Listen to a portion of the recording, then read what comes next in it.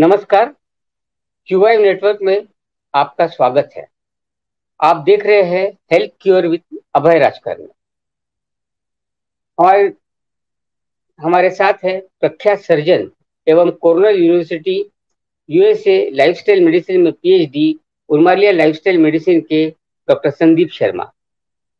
मैं डॉक्टर संदीप शर्मा के बारे में बता दूँ कि वो हमारे देश के उन चुनिंदा लाइफस्टाइल मेडिसिन एक्सपर्ट्स में से है, जिनका उद्देश्य लाइफस्टाइल में बदलाव कर हमें दवाई मुक्त एवं रोग मुक्त कैसे हो सकते हैं, इसके बारे में जागरूकता फैलाना। आइए डॉक्टर साहब। नमस्कार। और जो लोग भी देख रहे हैं, उन सबका हमारे इस प्रोग्राम में स्वागत है। और इन प्रोग्राम के माध्यम से जो हमारा उद्देश्य है, वो ऐसी चीज़ों को आपको बताना जो शायद आपको नहीं पता हो।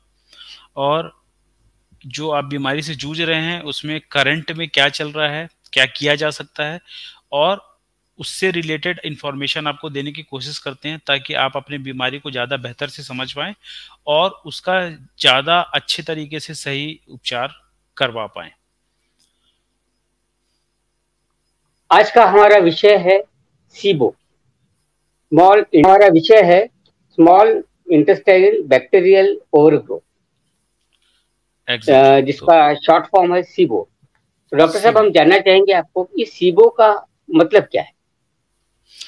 तो जो सीबो का जो फुल फॉर्म है उसे कहते हैं स्मॉल इंटेस्टाइनल बैक्टीरियल ओवरग्रोथ इसका अगर आप हिंदी में देखेंगे तो इसे कहा जाता है ये छोटी आंत में जीवाणुओं का जो नंबर है वो बहुत ज़्यादा बढ़ जाए, तब उसे कहते हैं SIBO small intestinal bacteria overgrowth SIBO कहाँ पे होता है? स्मॉल इंटेस्टाइन में। स्मॉल इंटेस्टाइन अभी ये जो पिक्चर है, उसमें जिस भाग में ये दर्शाया जा रहा है, उसे स्मॉल इंटेस्टाइन कहते हैं। वो एक पाइप को बहुत अच्छे तरीके से मोड़ देंगे, वैसा ही स्ट्रक्चर कुछ होता है। और ये, इसको आप ज़्यादा बेहतर समझ पाएँगे। इस एरिया में अगर बैक्टीरिया बहुत ज़्यादा बढ़ जाए, तब हम उसे कहते हैं स्मॉल इंटेस्टाइनल बैक्टीरियल ओवरग्रोथ ये है एक एक आइडिया आपको मैं बता रहा हूँ कि हम किस हमारे शरीर के डाइजेस्टिव सिस्टम के किस भाग के बारे में बात कर रहे हैं। इस भाग में जब बैक्टीरिया बहुत ज़्यादा बढ़ जाएगा, उसी को कहते हैं small intestinal bacterial overgrowth doctor साहब, क्या हमारे पेट में बैक्टीरिया होते हैं? बिल्कुल। अगर ये सवाल का जवाब दूँ मैं तो हमारे हर जगह बैक्टीरिया हैं और उसी प्रकार से हमारे पेट में भी बैक्टीरिया होते हैं। इनफैक्ट पेट में बहुत ही ज़्यादा क्वांटिटी में बैक्टीरिया होते हैं और अभी तक हम जो सुनते आ रहे हैं कि बैक्टीरिया हाथ धोने का साबुन साबुन लगाना है और एसिड यूज़ करना है तो ये बाहर के बैक्टीरिया मारने के हमने बहुत सारे जुगाड़ मार दिए, लेकिन हमारे बॉडी के अंदर ही बैक्टीरिया होता है और उसको भी मारने का जो है हम लोगों ने बहुत सारे एंटीबायोटिक्स डेवलप कर लिए हैं। तो वो बैक्टीरिया होते हैं, इसीलिए तो हम एंटीबायोटिक खा रहे हैं, मगर अभी तक सिर्फ़ आप बैक्टीरिया का बुराई बुराई खतरनाक है, बेकार है, बीमार कर देता है, वही सुना होगा। एक्चुअली हमारे पेट में बहुत सारे अच्छे बैक्टीरिया होते हैं जिनके बिना हम रह नहीं सकते। मतलब अगर वो बैक्टीरिया नहीं रहे तो शायद हमारी एग्जिस्टेंस ही नहीं रहेगी। तो ये कुछ ऐसे बैक्टीरिया हैं जहाँ पे शायद आपको बिल्कुल आइडिया ना हो उसके बारे में भी आज मैं आपको थोड़ा बहुत बताऊँगा। तो आंसर के रूप में देखें तो बिल्कुल हमारे पेट में बैक्टीरिया होते हैं जिनको कहते हैं गट माइक्रोबोम या फिर गट बैक्टीरिया सर फिर आ, क्या कारण है कि हम बीमार होते हैं? तो अगर मैं सीबो के प्रोस्पेक्टिव से बात करूँ, सीबो के ध्यान रखते में बात करूँ तो यहाँ पे क्या हो रहा है, वो शब्द में ही इंफॉर्मेशन छुपा हुआ है, जिसे कहते हैं small intestinal bacterial overgrowth bacterial growth से प्रॉब्लम नहीं है। जब बैक्टीरिया एक लिमिट से ज़्यादा ग्रो कर जाएगा, उसी को क्या कहते हैं? बैक्टीरियल ओवर ग्रोथ तो यहाँ पे बैक्टीरिया तो है हमारे फ्रेंडशिप उनके साथ एक नंबर है, वो बकायदे हमारे साथ तालमेल बैठा के रखते हैं। कम हो जाएँगे तो दिक्कत, ज़्यादा हो जाएगा तो दिक्कत। गड़बड़ कब हो जाता है अगर आप, हम कुछ ऐसे मेडिसिन खा रहे हो, जो हमारे पेट के बैक्टीरिया को, कुछ प्रकार के बैक्टीरिया को मार दें। दवाइयों की वजह से या फिर कुछ बैक्टीरिया हम कुछ ऐसा करें कि वो जो कुछ बैक्टीरिया उनका नंबर जो है बढ़ जाए। या हम बाहर से कुछ ऐसे बैक्टीरिया खा लें, गंदा पानी पी लें, तब वो बैक्टीरिया का जो नंबर है, वो ऊपर नीचे हो सकता है। अगर हम एंटीबायोटिक खा लेंगे तो क्या होगा, कुछ बैक्टीरिया मर जाएँगे तो उनका नंबर कम हो सकता है। और कोई कोई ऐसा एंटीबायोटिक खा लें, जो कुछ पर्टिकुलर टाइप के बैक्टीरिया को मार दे, कुछ को छोड़ दे तो डिसबैलेंस हो जाएगा। किसी भी कारणवश हमारे गट में, हमारे पेट में बैक्टीरिया का डिसबैलेंस होना या कम ज़्यादा होना हमेशा ही हमारे लिए खतरनाक रहा है। यहाँ पे क्या हो रहा है? बैक्टीरिया ओवर ग्रोथ हो जा रहा है। इस ओवर ग्रोथ की वजह से ही ये बीमारी का जन्म हुआ सीबो का ना सीबो नाम की जो बीमारी है, उस, उसका जन्म हुआ। अब यहाँ पे समझना पड़ेगा कि जो जो हमारा स्टमक है, वो, ये यहाँ पे जो ओवर ग्रोथ है, वो हो कैसे गई? हमारे इस स्मॉल इंटेस्टाइन में जो बैक्टीरिया है, वो इतना बढ़ इतना ज़्यादा क्वांटिटी में बढ़ कैसे गया? इसका ये बात समझने के लिए आपको थोड़ा एक और चीज़ें समझनी पड़ेंगी जिसको मैं अभी समझाने वाला हूँ आपको। उसे कहते हैं स्टमक एसिड। ये जो स्टमक है, वहाँ पे खाना पचाने के लिए हमारा बॉडी एक एसिड सिक्रिएट करता है, एक एसिड निकालता है, उसे कहते हैं S hydrochloric acid. Hydrochloric acid क्या करता है? खाने को तोड़ता है और खाने को तोड़ने के बाद वो जो एसिड है, वो हमारे पेट में खाना को तोड़ा, उसके बाद वो नीचे जाता है। मतलब स्टमक, ड्यूडेनम, जूजेनम, उसके बाद सिकम, कॉलन, रेक्टम। तो ड्यूडेनम और जूजेनम में जो पेट के बाद जो एसिड जाता है, वो क्या करता है? बैक्टीरिया को मारता हुआ जाता है। मतलब आप ये समझ लीजिए कि एक गार्डन है, वहाँ पे घास उगी हुई है। उस पर हमेशा डेली क्या होती है, एक मशीन चलता है। तो क्या करता है, घास को एकदम बराबर से काट देता है। वैसे ही हमारे जो स्टमक का एसिड है, उसका एक काम तो खाना पचाना है ही है, लेकिन साथ के साथ वो एक और काम करता है, हमारे पेट में कुछ एक बैक्टीरिया को मारता हुआ जाता है। तो मान लीजिए, जैसे मान लीजिए टोटल एक लाख बैक्टीरिया थे तो उसमें से तीस चालीस हज़ार को मारता हुआ चला जाता है। ये काम डेली होता है। मतलब बैक्टीरिया डेली डेवलप होते रहते हैं और हमारा स्टमक एसिड उनको एक तरीके से डेली मारता चला जाता है। ये बैलेंस बराबर से बना हुआ रहता है और ऐसा ही चलता आ रहा है और ऐसा ही इकोसिस्टम है। कुछ बैक्टीरिया मरते हैं, फिर वो ग्रोथ करते हैं, फिर हमारा स्टमक एसिड उनको मार देता है और एक इक्विलिब्रियम चलता रहता है। कितना मरेंगे और कितना ग्रोथ होंगे उसका एक चेक है। वो कम भी नहीं होते और ज़्यादा भी नहीं होते। ये हमारे अंदर का बिल्ड इन मैकेनिज्म है। अगर इस मैकेनिज्म में, अगर इस मैकेनिज्म में कुछ गड़बड़ हो गया, उस समय क्या होगा? ये बैक्टीरिया का नंबर या तो कम हो जाएगा या बढ़ जाएगा। अब आप समझते हैं बैक्टीरिया का नंबर यहाँ पे बढ़ कैसे गया। तो थोड़ा देर पहले मैंने आपको बताया था, पहले मैंने आपको बताया था स्टमक का एसिड जो है वो बैक्टीरिया को डेली बेसिस पे मारता रहता है और बैक्टीरिया ग्रोथ करते रहते हैं और ये एक इक्विलिब्रियम मेंटेन इक्विलिब्रियम मेंटेन रहता है। नहीं जाओ अभी हम रिकॉर्डिंग चल। बंद कर दो बेटा, बंद कर दो उसको। दादा? संगीता?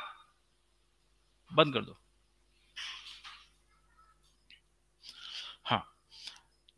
तो अभी आपको मैंने थोड़ा देर पहले बताया था, जो हमारा स्टमक का एसिड होता है, उसका दो काम है। एक खाना पचाना, दूसरा जब वो एसिड हमारे पेट के निचले वाले भाग में जाता है तो वहाँ पे बैक्टीरिया को मारता हुआ जाता है और ऐसा लाखों सालों से हो रहा है और ऐसे ही बैक्टीरिया का नंबर बैलेंस रहता है।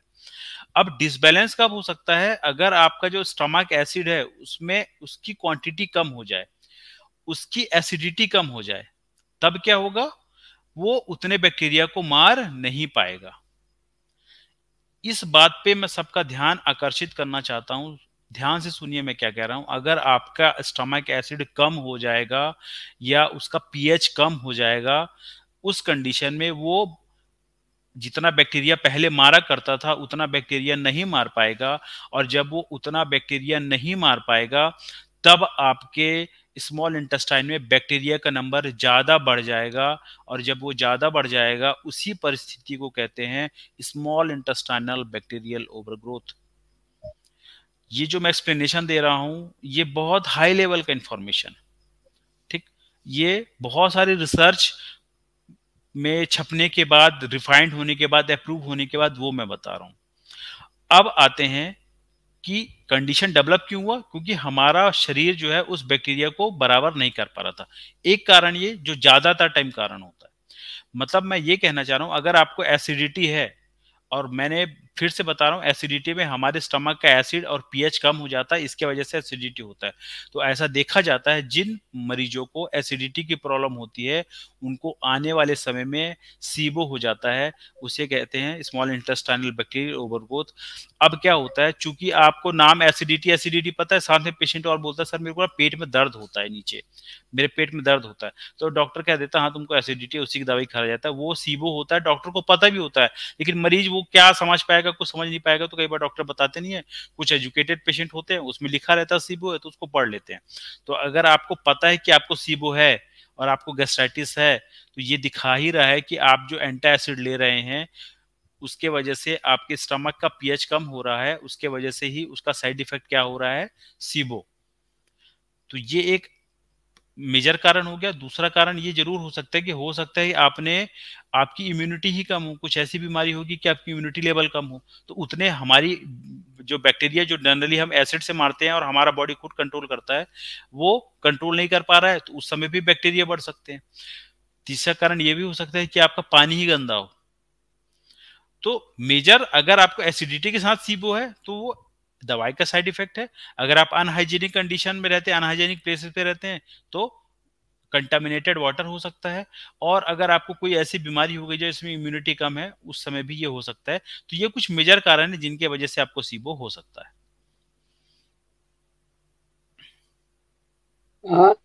इसमें डॉक्टर साहब पेशेंट को क्या दिक्कतें आती है?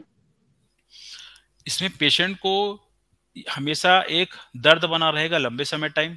कुछ मरीजों को इसमें लूज मोशन होता है, कुछ मरीजों को कंटिन्यूस बुखार बना रहता है और एंटीबायोटिक खाते हैं तो ठीक हो जाता है, फिर थोड़ी देर बाद फिर से हो जाता है।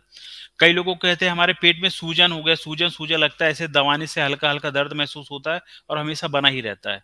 कुछ लोगों को इन्फेक्शन इतना हो जाता है कि लेटरिन के रास्ते में कई बार खून भी आने लग जाता है। अगर आपको एसिडिटी हो रहा है और साथ में दर्द भी हो रहा है पेट में लंबे समय तक तो ये दिखा रहा है कि आपका बीमारी सीबो के डायरेक्शन में जा रहा है या फिर चला गया है। और अगर आपको एसिडिटी के साथ डॉक्टर एंटीबायोटिक्स भी देने लगे तो समझ लीजिए आपको सीबो तो है ही। तो मॉडर्न मेडिसिन में फिर इसका इलाज कैसा करते हैं डॉक्टर बहुत बढ़िया। फिर शब्द से जब हमने समझ गया कि स्मॉल इंटेस्टाइनल बैक्टीरियल ओवरग्रोथ है बैक्टीरिया बहुत ज़्यादा बढ़ गया है तो मॉडर्न मेडिसिन में सीधा प्रैक्टिस है। जो चीज़ बढ़ गया है, उसको कम कर दो।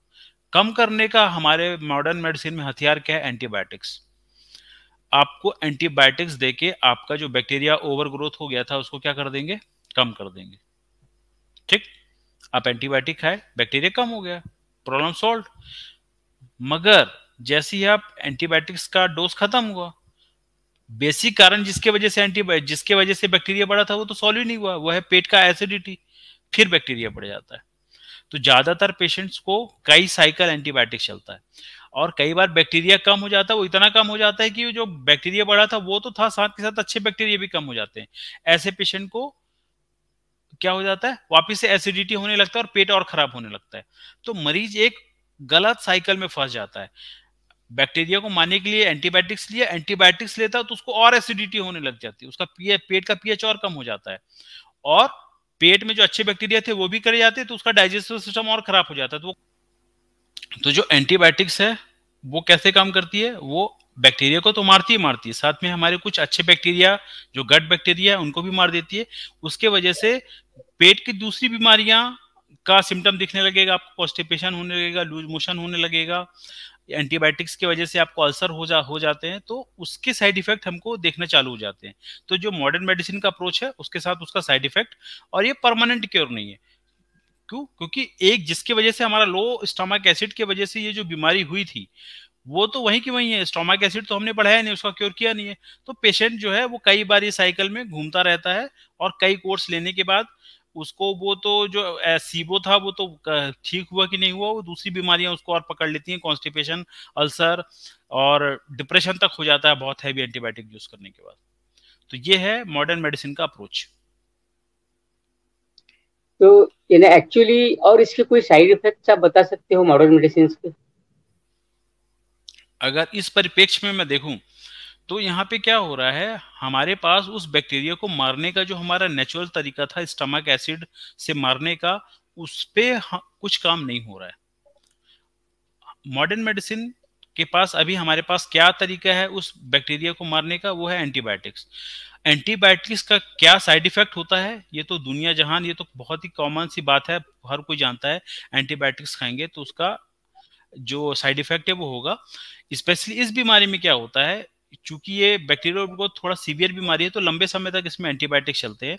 और जब लंबे समय तक एंटीबायोटिक चलते हैं तो एक्चुअली में क्या हो रहा था, हम पेशेंट के पेट को ठीक करने के हिसाब से दवाइयाँ दे रहे थे। तो सीबो तो चलिए वाली कंट्रोल हो गया, मगर पेशेंट कॉन्स्टिपेटेड होने लगेगा, उसको बहुत हैवी एंटीबायोटिक्स की वजह से अल्सर होने लगेगा तो वो एक नया बीमारी, एक को खत्म करेगा और दूसरा नया बीमारी ईजाद हो जाता है इसमें। तो ये एंटीबायोटिक का जो साइड इफ़ेक्ट है वो जिसको पेट को ठीक करने चले थे वो दूसरी बीमारी है। मतलब एक प्रकार से ये कि ये वाला बीमारी से छुटकारा पाओ और नया बीमारी साथ में लाओ। ये हो रहा है मरीज़ के साथ सीबो के ट्रीटमेंट में। तो यानी इसका मतलब कि पेशेंट वो अभिमन्यु जैसा चक्रव्यूह में फंस जाता है सर। बिल्कुल। तो इस फंसे हुए अभिमन्यु को निकालने के लिए एक लाइफस्टाइल मेडिसिन एक्सपर्ट के बारे में आप क्या सलाह देते हो? मैं तो सबसे पहले आपको यही सलाह दूँगा कि मैं सबसे पहले स्टार्टिंग में ही बताया था कि हमारे स्टमक में एसिड कम हो रहा है। इसके वजह से आपका एक नया बीमारी को जन्म हो रहा है, जिसका नाम है सीबो मतलब अगर हम अपना स्टमक एसिड को जो कम करने वाली चीज़ें हैं, उसको छोड़ दें मतलब एंटा एसिड छोड़ दें तो आ, आपका सवाल होगा सर इतना आसान होता एंटी एसिड छोड़ देना तो तो बात ही क्या थी? हम कोई शौक से तो खा नहीं रहे तो मैं आपको सलाह दूँगा कि हम एंटी एसिड खा क्यों रहे क्योंकि हमको बोला गया कि आपका स्टमक में एसिड बहुत ज़्यादा है। और मैं फिर कह रहा हूँ स्टमक में एसिड कम है उसी का रिज़ल्ट है कि आपको सीबो हो रहा है।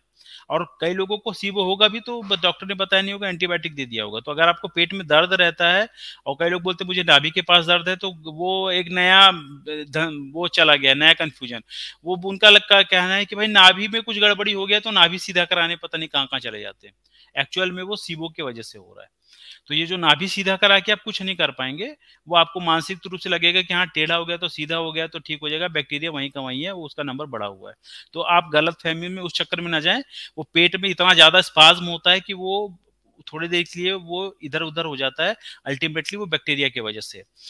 तो जहाँ तक रही बात जब स्टार्टिंग ही लो स्टमक एसिड से तो अगर आप एंटा एसिड खा रहे हैं तो आपको सबसे इंपॉर्टेंट है लाइफस्टाइल तरीके से आपको सबसे पहले अपना एसिडिटी का इलाज करना पड़ेगा। क्योंकि जब तक वो नहीं इलाज स्टार्ट वो इलाज नहीं होगा। और अगर आप मेरी पहली पहली वीडियोस देखे होंगे तो मैं पहले बताया हूँ, करीबन वो पाँच से छह महीने का टाइम का कोर्स है। तो जब तक आप वो ट्रीटमेंट में नहीं आएँगे, तब तक आपका एंटीबायोटिक्स नहीं छूटेगा, तब तक आपका एंटासिड नहीं छूटेगा। एक बार अगर एंटीबायोटिक्स और एंटासिड छूट जाता है तो आप एक ऑटो पायलट मोड में चले जाते हैं। मतलब आपका स्टमक एसिड का पीएच बढ़ जाता है स्टमक एसिड बढ़ जाता है, और जो नेचुरली वो बैक्टीरिया माने का जो सिस्टम चला आ रहा है हमारे इतने सालों, करोड़ों सालों की ह्यूमन डेवलपमेंट में, वो वैसा वापिस से चला जाएगा बॉडी ऑटो पायलट मोड में आ जाएगा, और ये पूरा साइकिल ही टूट जाएगा। मतलब सीबो के लिए एंटीबायोटिक लेंगे एंटीबायोटिक चक्कर में फिर से आपको एसिडिटी होगा, फिर अल्सर होगा, फिर लेंगे। ये साइकिल ही टूट जाएगा और ऐसा देखा जाता है स्टम पेट की बीमारी वाला पेशेंट सालों साल तक दवाइयाँ खाता रहता है। एक महीना, दो महीने एक साल, डेढ़ साल, चार चार, पाँच पाँच, छह छह साल वाले पेशेंट भी हैं। कई कई तो दस साल वाले भी हैं, जो चला ही जा रहा है सिस्टम चला ही जा रहा है। और मरीज़ मल्टीपल कंफ्यूज है। वो एलोपैथी में अब उसका प्रॉब्लम चल रहा है, बाद में उसको तीन चार मिल जाएँगे, चूरन बाबा मिल जाएँगे। कि हमारा वाला भी खा लो तुम डब्बा, आयुर्वेद का। आजकल एक नया फ़ैशन चला, आयुर्वेद में डब्बा बेचने वाला। हमको फ़ोन करिए ये नंबर पे और डब्बा ले लीजिए हमारा। तो एक, वो एक नया बिज़नेस चल रहा है। तीसरा एक और मिल जाते हैं, पेट की नाभि सीधा करने वाले। वो आपका नाभि सीधा कर देंगे। तो ये क्या है मल्टीपल ट्रैप्स है और पेशेंट बेचारा इतना परेशान रहता है तो लगता है कहीं तो कुछ तो मिल जाए तो हर जगह भटकता रहता है। तो ऐसे पेशेंट की कहानी और मैं बता दूँ कैसा होगा वो उसका स्टार्टिंग होगा सर, मैंने एलोपैथी की मेडिसिन खाई थी, फिर मैंने आयुर्वेदिक मेडिसिन खा ली, फिर वहाँ से रिलीफ नहीं मिला, फिर सर मैंने होम्योपैथी के पास गया। लेकिन उनका भी दवा असर नहीं किया, फिर उसके बाद सर मैं नेचुरोपैथी में गया, वहाँ तो मेरी हालत और खराब हो गई क्योंकि उन्होंने मुझे फल वल खिला दिया, घुमा फिरा के पेशेंट हेल्पलेस हेल्पलेस हम लोग बहुत सलाह दे देते हैं नेचुरोपैथी में चला जाना। यहाँ पे क्या हो रहा है बेसिक प्रॉब्लम जो पेशेंट का है, वो यही तो है कि वो फल, और ये वेजिटेबल्स तो डाइजेस्ट नहीं कर सकता ना स्टमक में एसिड कम है। और जो ये मैं बता रहा हूँ ना, ये मरीज़ पूरी समझ रहा है, मैं क्या बता रहा हूँ, लेकिन इसको जो चिकित्सक है वो बिल्कुल ही नहीं समझ रहा है। तो यहाँ पे क्या हो रहा है पेशेंट के साथ कुछ और चल रहा है और चिकित्सक कुछ और गाना गा रहा है। गड़बड़ क्या हो रहा है, क्योंकि चिकित्सक को लग रहा है स्टमक में एसिड बढ़ गया है, जबकि हो उल्टा रहा है। तो ऐसे पेशेंट को मैं यही सलाह दूँगा कि आप सबसे पहले तो हाई प्रोटीन चीज़ें खाना बंद कर दीजिए इमिडिएट अगर आप नॉनवेज खा रहे हैं तो बिल्कुल बंद कर दीजिए, क्योंकि आपको लग रहा होगा, सर हमारे जमाने से दादा परदादा नॉनवेज खाते आ रहे हैं। तो उनका दादा परदादा वाला जमाना चला गया। दादा परदादा के जमाने में हैवी एंटीबायोटिक्स नहीं थे। ठीक है? तो गलती से वो वाले साइकिल में मत चले जाना अपने दादा परदादा वाले में, ठीक है? अगर आपके पास टाइम मशीन हो तो अपने दादा परदादा के जमाने में जियो ना, कोई दिक्कत नहीं है। लेकिन अभी तो दादा परदादा वाला जमाना चल ही नहीं रहा ना। अभी तो मॉडर्न मेडिसिन का जमाना चल रहा है। आपको छींक भी आ गई तो इतने हैवी एंटीबायोटिक चलते हैं, जो पहले के बड़े बड़े बीमारियों में नहीं चला करते थे, क्योंकि हम लोग एंटीबायोटिक रेजिस्टेंट होते जा रहे हैं। तो आप गलती से दादा परदादा वाला ये जो आपका जो सलाह दे देते ना, उसके चक्कर में मत पड़ना, क्योंकि दादा परदादा के जमाने में इतने खतरनाक एंटीबायोटिक्स थे नहीं। आप जो एक डोज एंटीबायोटिक खा रहे हो ना, वो उस दादा परदादा के जमाने में डिस्कवरी नहीं हुए थे। तो मेरा सलाह यह है कि अगर आप इस समय पे हैं तो बस आप मेरी ये बात अगर आप समझ गए कि आपका स्टमक एसिड में स्टमक में एसिड कम हो रहा है और उसी का जो है भुगतान भुगत रहे हैं चाहे वो सीबो हो चाहे वो डिप्रेशन हो गैस गैस्ट्राइटिस इंड्यूस डिप्रेशन हो और चाहे आपका वेट लॉस हो रहा हो सबका कारण आपका पेट में एसिड कम होना और उस कम एसिड में और एंटा एसिड खा लेना ये आग में पेट्रोल डालने जैसा। जहाँ तक रही बात लाइफस्टाइल में क्या सलाह दूँगा तो मैं आपको यही सलाह दूँगा कि आप हैवी प्रोटीन डाइट ना लें कुछ दिन के लिए नॉनवेज पूरा बंद कर दें और स्टार्च बेस्ड डाइट पे आ जाएँ। चाहे वो पोटैटोज हो, चाहे वो राइस हो, चाहे वो स्वीट पोटैटो हो, कुछ दिन के लिए इसमें आइए और वाटर बेस्ड फ्रूट सर वाटर बेस्ड जो जिसमें पानी ज़्यादा होता है उसको खाइए तो आपको रिलीफ मिलना चालू हो जाएगा। और जो हार्डकोर पेशेंट हैं उनको तो इन चंद शब्दों में इलाज बताया नहीं जा सकता क्योंकि वो इलाज ही करीबन पाँच छः महीने का होता है। तो मैं बस आपको एक आइडिया दे रहा हूँ कि हमको जाना किधर है किस डायरेक्शन में जाना है। सर इसमें आ, और कोई आ, आहार का और कोई रोल आहार का रोल है ना मैं बता ना हमको हाई प्रोटीन लेना ही नहीं है। ओके यहाँ पे क्या, क्या खाए सर वो? स्टार्च बेस्ड चीज़ें। वो खाए क्या? मैं बोला ना हाँ वही तो बताया ना, वो इतना सारा चीज़ है कि उसको मैं एक शब्द में बता ही नहीं सकता। बस मैं आइडिया दे सकता हूँ कि स्टार्च बेस्ड चीज़ें खाएँ। राइस हो गया पोटैटो हो गया, ये सब चीज़ें खाएँ। लेकिन ये सलाह जो है, वो कॉमन सबको दिया नहीं जा सकता। कुछ शुगर के पेशेंट है। ठीक है? कुछ बीपी के पेशेंट है। तो क्या हो रहा है? एक जर्नलाइज आंसर में कुछ दे ही नहीं सकता, क्योंकि अलग अलग टाइप के पेशेंट है। बस मैं आपको एक आइडिया दे सकता हूँ कि हाँ यहाँ से स्टार्ट करना है। अगर आपको कुछ नहीं है तो आप कुछ दिन के लिए प्रोटीन छोड़ के देखो तो आपको रिलीफ मिलना चालू हो जाएगा। अगर आपको प्रोटीन छोड़ने से रिलीफ मिल रहा है तो ये प्रूफ कर रहा है कि जो मैं बता रहा हूँ बिल्कुल सही है ठीक? अब छह महीने का इलाज तो मैं चंद ऐसे इसमें बताना पॉसिबल नहीं है बस मैं आपको एक डायरेक्शन दे रहा हूँ आइडिया दे रहा हूँ कि हमको किधर से काम करना स्टार्ट करना पड़ेगा। ये आइडिया दे रहा हूँ बिल्कुल। पेशेंट को क्या सावधानी लेनी चाहिए? साथ में जो मॉडर्न मेडिसिन के जो साइड इफेक्ट्स है उसके बारे में आपने बहुत आसान तरीके से समझाया। आपने कौन सा फ़ूड लेना है वही बताया और सबसे मेन चीज़ जो है वो आपको प्रोटीन्स छोड़ना पड़ेगा। और नॉनवेज और सर जो दूध तो लेना ही नहीं चाहिए जैसा आपका कहना है। बिल्कुल। इसके अलावा और कुछ छोड़ना चाहिए उन्होंने? मैं बोला ना ये ये यहाँ पे क्या है कि यहाँ पे मुझे एग्जैक्ट पेशेंट नहीं पता कौन से पेशेंट है क्योंकि कुछ पेशेंट के लिए कुछ छोड़ना है कुछ पेशेंट के लिए कुछ छोड़ना है तो एग्जैक्ट मैं शब्दों पे बता ही नहीं सकता ठीक है? और तो मैं यहाँ पे सेफली आपने इतने जटिल विषय को बहुत ही आसान तरीके से समझाया। मैं चाहता हूँ कि हमारे जो भी दर्शक है ये इसका लाभ उठाए। धन्यवाद डॉक्टर। तो thank you everyone have a nice day